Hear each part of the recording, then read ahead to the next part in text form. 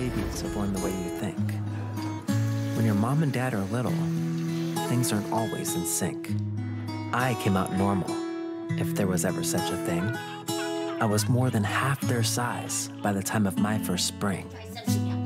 It was hard for my mom to be a parent when she couldn't hold me much. And though she wouldn't ever dare it, she thought of giving up. All right, let's dive into the family behind the video. He's a big star in a little world. You hear the voice of Peet Montzingo, a social media sensation who grew up as the only tall person in a family of little people. Peet and his family embracing their unique lives and becoming celebrities on the internet and around the world. It started when Peet's YouTube channel, uh, which now has nearly 10 million subscribers. He's got more than 12 million followers on TikTok and Instagram, and he's using his fame for good with a new children's book out about being different. Little Imperfections, a tall tale of growing up different. It addresses all kinds of issues facing young people today. Peet and his mom, Vicki, are with us now to talk more about this book and about what you're doing online with those uh, creative videos. Welcome to you both. How you doing? Hi. Hi. Merry Christmas. Merry Christmas to you. How are you doing? I'm doing well. I'm so glad you're able to meet up with family during the holidays, right? We talked about all these travel delays. You two are together and, of course, uh, celebrating the season, which is great. And you're able to share your own story in this new book. Peet, tell me about what it was like to write it. Oh, man. Um, it was kind of therapeutic in a way because you know i had to reflect a lot of where i came from and my background and a lot of you know my memories of what it was like growing up in a little home as an average height member i mean I, I, passed my family in height by the time i was what like eight yes at least yeah. so you know with that came a lot of different you know obstacles um, and with that as well came a lot of like privileges like i would have all the upper cabinets to myself and i would i mean i used to like hide candy up there and stuff and so it came with its perks as well um, yeah. but writing this book you know a, a lot of it had to do with you know i felt like i was the odd one out in my family and i realized that in everyone's family people might feel like you know they're the odd one out or a black sheep, even though even at school or even you know at a job or you know whatever it is. And I I just felt like it could have been a really relatable topic that people can take you know take something from that and learn something and understand that it's actually a good thing. You know, it doesn't have to be a bad thing. Sure. As we know, siblings are so different from one another, right? Everyone's got different personalities, and sometimes you have to work through that to, to really have a good relationship. Uh, Vicki, what's it been like to watch your son grow, uh, of course, physically, and then also as, as a young man? I'm so proud of him. He's done so well.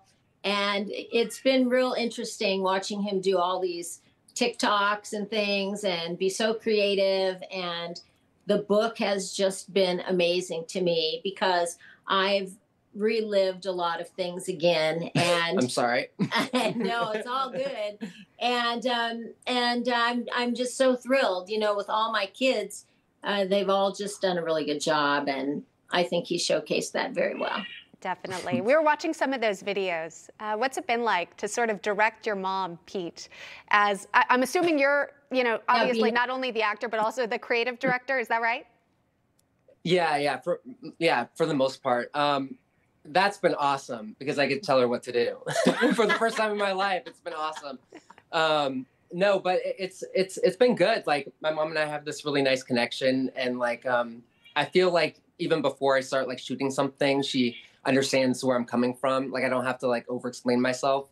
Um, so it's actually been really easy um, to shoot with her, and, yeah, and you get I mean, and it's fun. Sure. Well, you get to spend time together, right? Too. You know, sometimes when you when you finish, yeah, when you finish up your schooling, you've got kids who who leave the house, right? And you know, you only get to see your family on the holidays. But when you're working together as content creators, uh, that's some precious time. We've got one of those clips. I want to show it for our audience. This is a, a recreation of the classic scene from the movie Elf. Let's watch. Call me Elf one more time.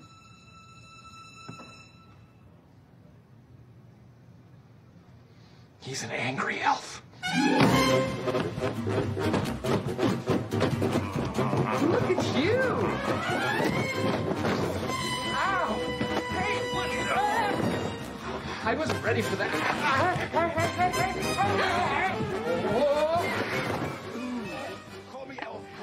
You use physical comedy too. Uh, how creative. Peet, what's it like filming with family?